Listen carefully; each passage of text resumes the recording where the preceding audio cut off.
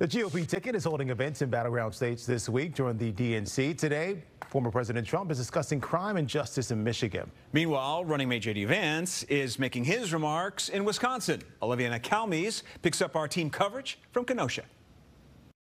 Battleground states like Wisconsin will be key this November. Kamala Harris made an appearance at the DNC last night before President Biden's speech, and today the GOP ticket is splitting up to campaign with Donald Trump heading to Michigan and vice presidential nominee J.D. Vance coming back to Wisconsin for the third week in a row. The Trump-Vance campaign message today is Make America Safe Again. Monday was about wealth in America. The rest of the week will be about making America strong, secure, and lastly, great again on Friday.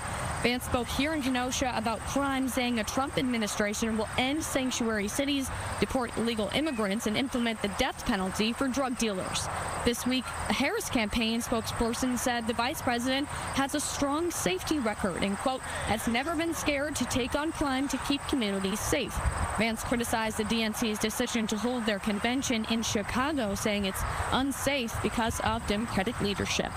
It's almost a joke to me that they held it in Chicago, which has become the murder capital of the United States of America thanks to very failed Democrat leadership. That is something that we would not accept in a third world country, much less in one of our beautiful, great American cities like Chicago. A recent poll of Wisconsin voters shows Kamala Harris leading Trump by four points within the margin of error.